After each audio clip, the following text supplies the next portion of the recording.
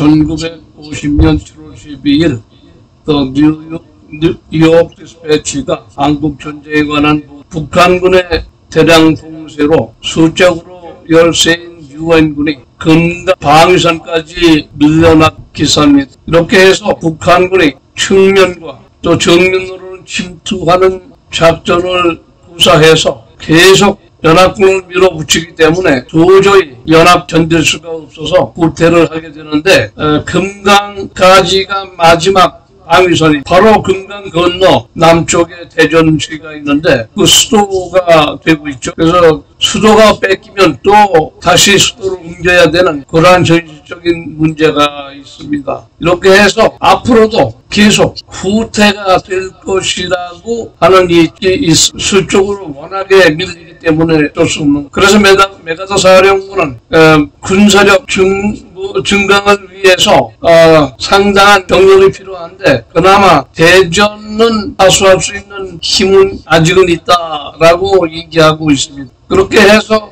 어, 심리학군은 어, 측면 공격과 정면 침투 작전으로 어, 어느 정도 효과를 있습니다. 한편 와싱턴에서는 영국과 소련의 평화회담의 결과를 어, 기다리고 어, 주목하고 있습니다. 이렇게 해서 그 반목이 심오기 때문에 동서명의 반목이 심오기 때문에 미국 사람들이 상당히 분노하고 있다고 하는 그리고 재미있는 그 만평의 그 신문 뒤쪽에 있는 그 앞에 올려드렸는데 여기 보면은 커다란 용이 담벼락들 위에서 지켜보고 있는 가운데 미국 조그마한 공룡색 몽둥이로 내려치는 그러한 장면입니다. 뒤쪽에서는 커다란 용, 곧 러시아가 침략에 완전한 물을 꾸몄고 침략을 계획한 것 러시아다라고 하는 것을 암시하는 만평입니다.